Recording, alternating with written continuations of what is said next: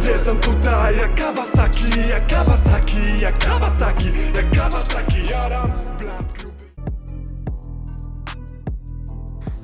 Ja, siemanko mordeczki, witam was serdecznie w reakcji Sztosa, kolejny odcinek. Witam cię ziom i ty dziewczynko, też cię witam. E, I ciebie tutaj widzę, że czekałeś na ten film. I bardzo mi fajnie, bardzo mi miło, dlatego zaczynam. Od razu na wstępie powiem, że e, nie słyszałem tego numeru i Kinol to mi się z taką miniaturką skojarzyło, że właśnie ten ziomek Sobel ma duży nos, to po pierwsze, a drugie mi się skojarzyło, że może z jakimś melanżem, że tam właśnie z jakimś e, białym narkotykiem popłynął gdzieś dalej i że właśnie może o tym będzie ten numer.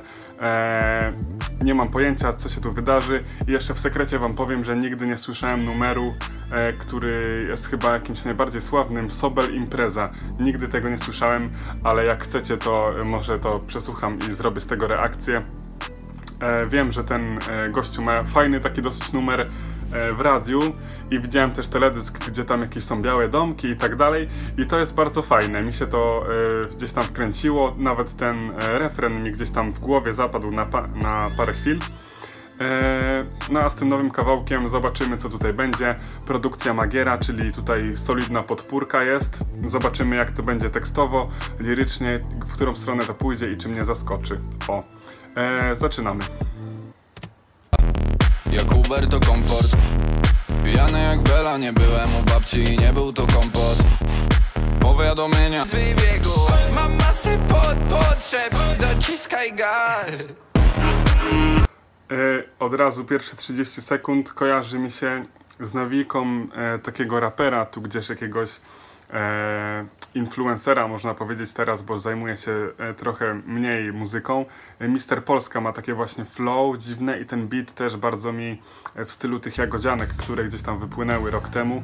E, sprawdzamy dalej. Krótką stresu Głęboki oddech, szybki umysł, gruby plan Dużym okiem patrzę w oko następnej z wybiegu Mam masę pod potrzeb Dociskaj gaz Dobra, to był chyba refren. Mm, kurde, nie wiem, przesłucham jeszcze raz, bo nie wiem, czy to był refren, czy nie. E, teledysk taki zlepek różnych tutaj widzę melanżowej wiksy, jakieś tutaj przewijają się piguły, tutaj jakieś laski, gdzieś tam on jedzie przez miasto. Za bardzo nie wiadomo o co chodzi do końca i jestem już mega zaskoczony, że, e, że Magiera zrobił taki beat, gdzie on zawsze jest kojarzony gdzieś tam z oldschoolem. A jak jeszcze jakieś skrecze będą na koniec, to w ogóle się zdziwię, ale to chyba do tego numeru w ogóle nie będzie pasować. Barszczyk wylałem Wyjebane Impreza Duże oczy Rzucam szluga razem O co chodzi z tym barszczykiem? Czy to jakaś, to chyba jakaś, chodzi o wiśniówkę jakąś? Czy, czy to jakoś na serio? Nie czaję.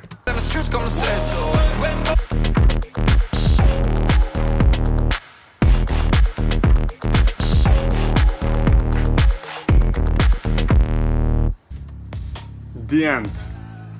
Wiksa, ale czy taka Wiksa na pełnej? Kurczę, myślałem, że to będzie jakieś bardziej takie rozrywkowe i że to, że to po prostu mnie jakoś rozwali. A to było takie, wam powiem szczerze, takie sobie. Nic mnie nie zaskoczyło, nic jakoś... Co mogę powiedzieć? To na pewno jest bardzo, bardzo, bardzo fajny vibik i wydaje mi się, że nikt tak w Polsce nie nawija takim flow, gdzie ono beat leci, a ten gościu tak wymija właśnie fajnie, gdzieś to jest połączone z tymi basami. Bardzo, e, bardzo specyficzny bym powiedział. E, właśnie tutaj się wyświetla ten kawałek, daj mi znać, on się nazywa. E, to jest dużo lepsze od tego, ale wiadomo, to jest inny vibe, inny w ogóle, e, inny nurt, że tak powiem. Tutaj bardziej tak klubowo to wyszło. E, zaskoczenie, że Magiera taki beat. E, tekstowo gdzieś tam myślę, że nie było takiej linijki, gdzie, gdzie ona by tak zapadła jakoś w pamięć e, z tym barszczykiem, nie wiem o co chodzi nadal. Możecie mi to rozkminić jakoś w komentarzu. Wydaje mi się, że chodzi o jakiś alkohol albo jakąś wiśniówkę. Może on jest właśnie jakimś. Lubi wiśnióweczki sobie się napić. Jeśli tak, to props, bo każdy lubi. E, co mogę powiedzieć? Takie u mnie takie 3 na 5. Ale y, każdy ma, każdy wiecie, każdy ma tutaj swoje jakieś e, nurty muzyczne, które ogarnia. każdy ma swoje specyficzne jakieś podejście do rapu. E, wydaje mi się, że jakby to w klubie poleciało, to by było takie średnie tupanie dosyć.